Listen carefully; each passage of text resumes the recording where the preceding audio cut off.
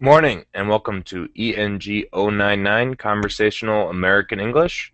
My name is Charlie and I'm organizing this massive open online course for December 2012. This is lecture 7 of lecture 8, excuse me, lecture 8 of 10. This is the job interview, part 1 of 2. So we're going to have uh, we're going to talk about job interviews in our uh, conversational American English section.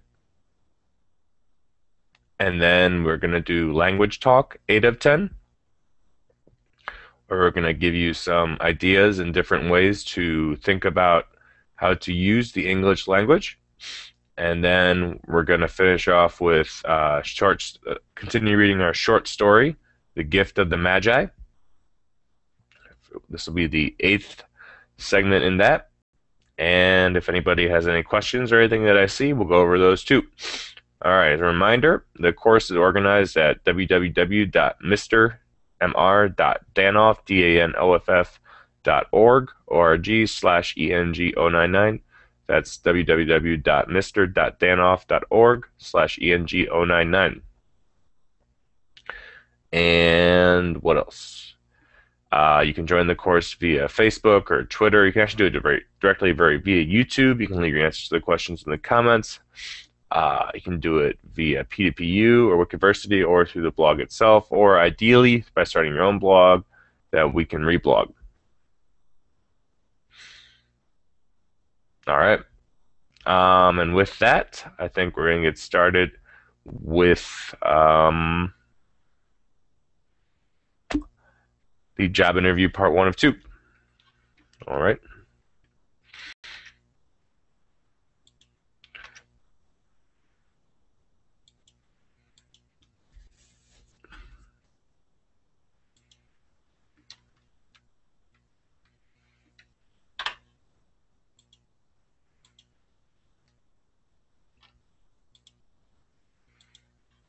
All right, sorry about that.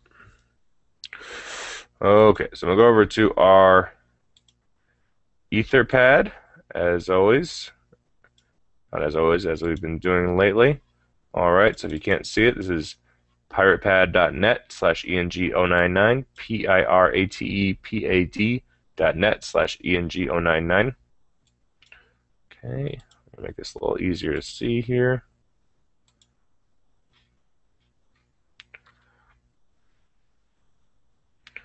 All right.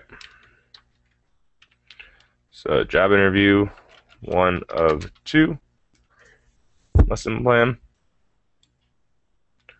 All right. So we're going to begin by going over some basic interview questions. All right. So tell us about yourself. So, well, first, I guess, First question, before we do that, is what is a job interview? All right, that's a good question. So, a job interview you is where someone looking to hire a new employee uh, talks talks with someone who is who wants a new job. Okay? So, a job interview is where someone looking to hire a new employee talks with someone who wants a new job. All right? So, let's say you wanted to be a teacher. So, you have your master's degree or you have your other degree, your PhD, maybe your bachelor's, depending on what you're teaching, and you want a job. So the school needs a new social studies, te- a new history teacher.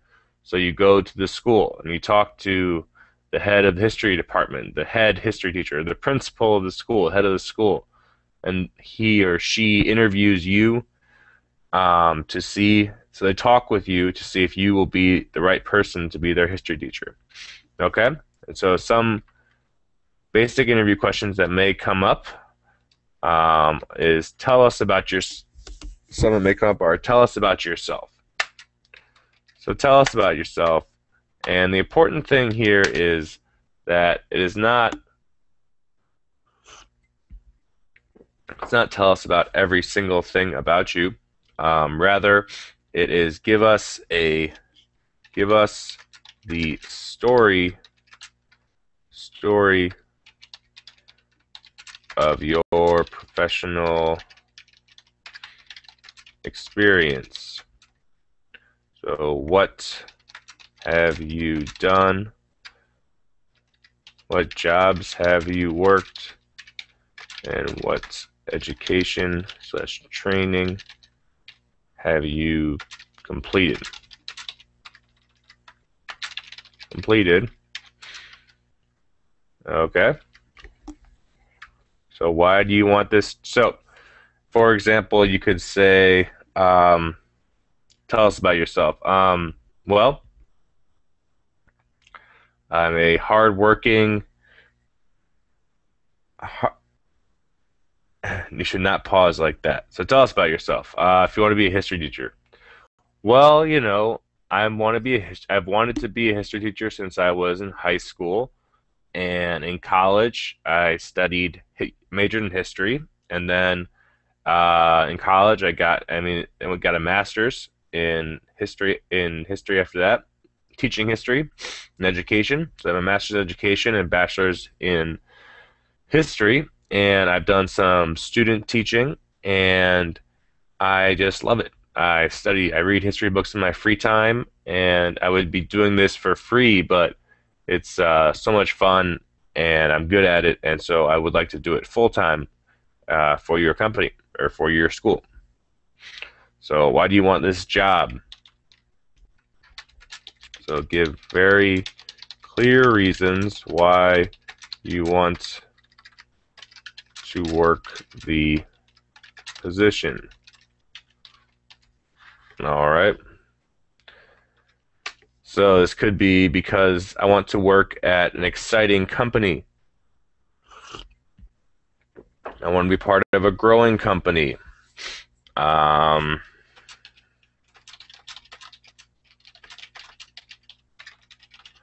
growing company. Or I want more experience in this industry. I am ready for more responsibility. And all right. All right. Or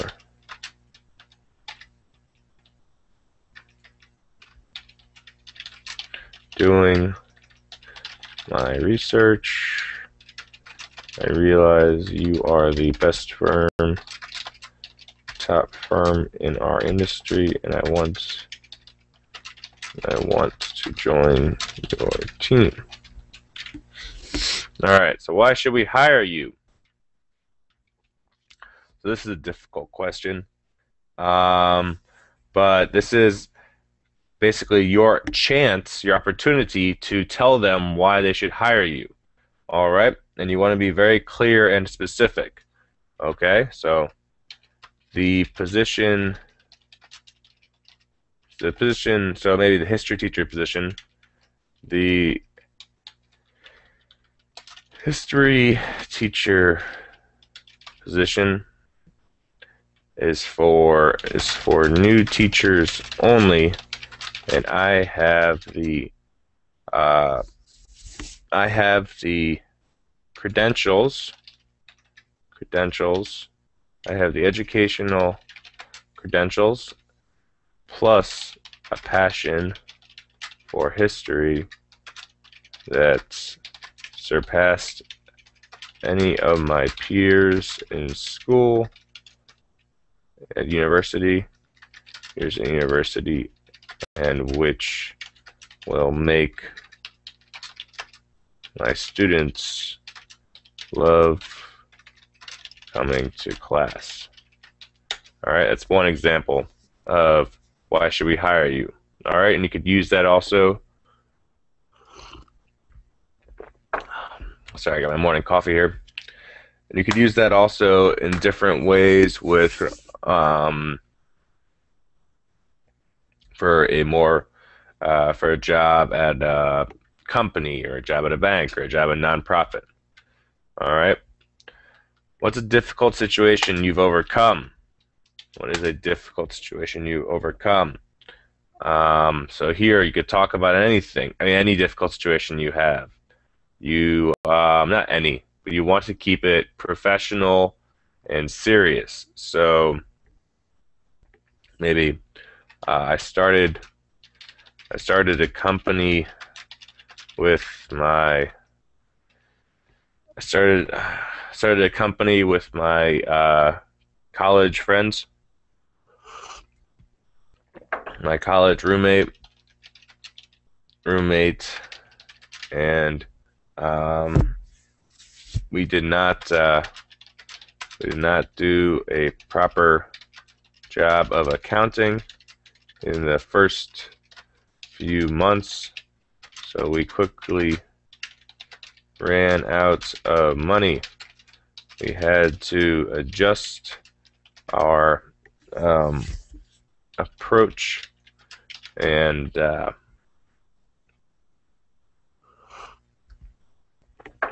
and spend time every day looking at the books. Soon enough, uh, we were on top of it, on top of everything, top of our finances, and in the black. In the black. Alright, so that's one example. So just something where something went wrong and then you handled it in a professional context. Alright, what are your weaknesses? Um, so this is where you want to talk about a weakness but then use it as a way to talk about your strength. Like, my weakness used to be that I was too intense of a leader. I did a poor job of sharing control on projects. But I but I bought some books on leadership and took a course. Now I am relaxed but still serious about leading projects and I encourage my colleagues take on responsibility. It's led to much better collaborative work than I ever did before alone. Okay? So, for example, there, I'm talking about a weakness. I was too intense of a leader. I was too serious. I did a poor job of sharing control on projects. So my team members, so my team members did not like um, working together. Together. But too much better than we ever did before. Alright. Alright.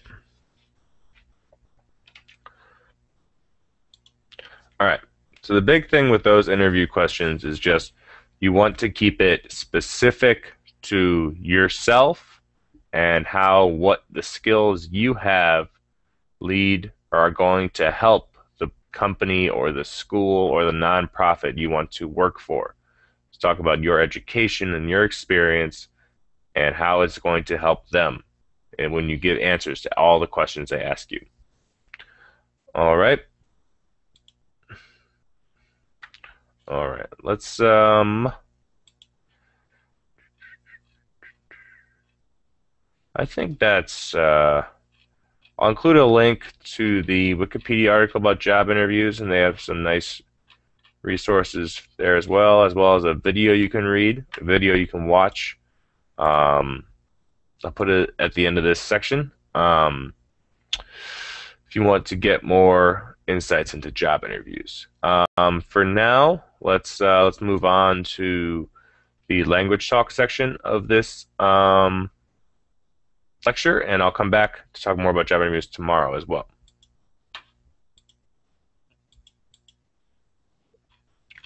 All right, so this is language talk 8 of 10. It's uh, going to be directly in the book like we did last night. All right.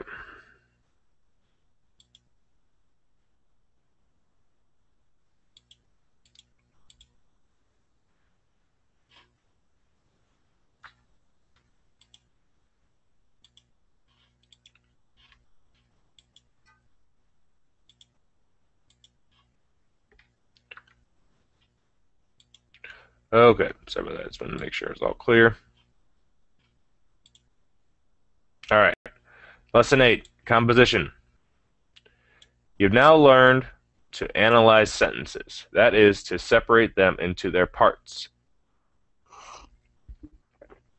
And what are their parts, you may be asking? Well, if you've taken the other lectures in this course, if you've completed the exercises and done the work, you know that the parts are the subject, and the predicate, which is the subject is what the sentence is about, and the predicate gives more information about the subject. The subject is what is thought, and the, su- the predicate gives information about what is thought. All right? You must next learn to put these parts together, that is, to build sentences. All right? So we're building sentences, maybe moving on from two word sentences. The separation of a sentence into its parts is analysis, the putting together of its parts together is synthesis, construction, or composition. The composition is writing. We will find one part, and you must find the other and do the building.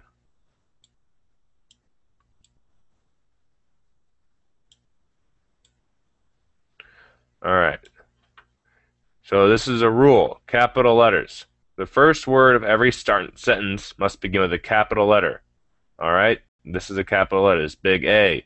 It's big C. It's big W. Capital letters must start every sentence in the English language. All right? Not every single sentence. There are probably some examples where it can, but almost everyone. Most of them. All right?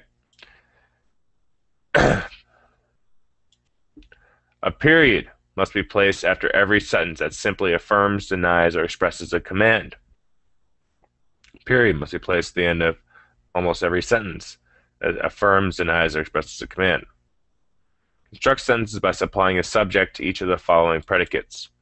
Ask yourself the question what swim, sink, hunt, etc. The proper answers will be in the subjects required. Okay? So here you can make a sentence with uh, children swim or hippos swim hippos swim, or yeah, hippos or swim. You can do the rest here on your own. This exercise may profitably may profitably be extended by requiring people to supply several subjects to each predicate. So you can do more than one subject like I did for each predicate.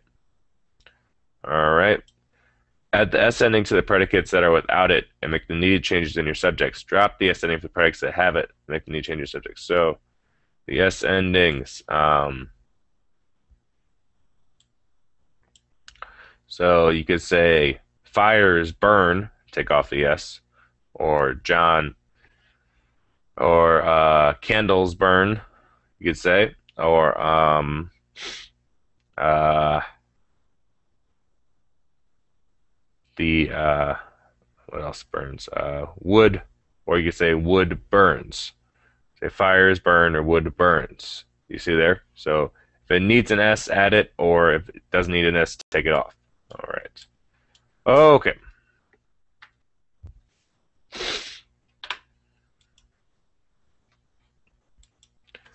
So now completing those activities will be uh, part of the assignment or the exercises for this lecture. All right. So that was language talk, 8 of 10. Uh, we're starting to build sentences on your own, um, working slowly, but a couple more lectures. Um, all right, now let's move into the short story.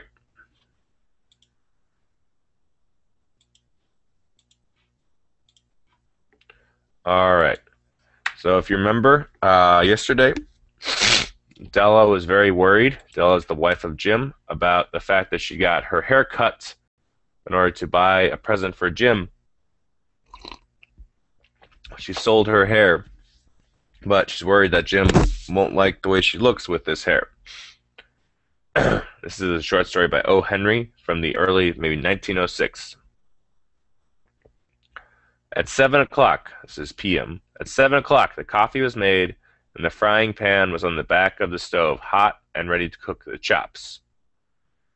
Jim was never late, so tonight Jim is late. Della doubled the fob chain in her hand and sat on the corner of the table near the door that he always entered. So Della is nervous. She's waiting for Jim. Then she heard his step on the stairway away down on the first flight, and she turned white for just a moment. She turned white. That means that she got very, very, very scared.